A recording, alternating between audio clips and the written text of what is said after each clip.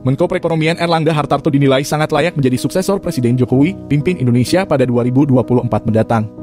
Ketua Umum DPP MKGR Adis Kadir beralasan Erlangga dinilai berhasil menangani goncangan ekonomi akibat pandemi COVID-19. Penanganan pandemi di tangan Erlangga di sektor kesehatan dan sektor ekonomi berhasil mencatatkan hasil positif. Dengan alasan itu, Erlangga dinilai sangat layak jadi pemimpin Indonesia selanjutnya. Angka pertumbuhan ekonomi 7,07 persen pada triwulan 2 pada tahun 2021, menggambarkan kondisi ekonomi sudah normal kembali. Selain itu, kinerja Erlangga banyak memperbaiki kondisi ekonomi masyarakat Indonesia melalui program bantuan langsung yang diterima warga yang terdampak. Menurut Adis, banyak warga berterima kasih kepada Erlangga dengan program yang memperbaiki kondisi ekonomi masyarakat. Momen belusukan Erlangga untuk terjun langsung ke pasar dalam memastikan harga minyak goreng yang terus melambung juga dapat dikendalikan.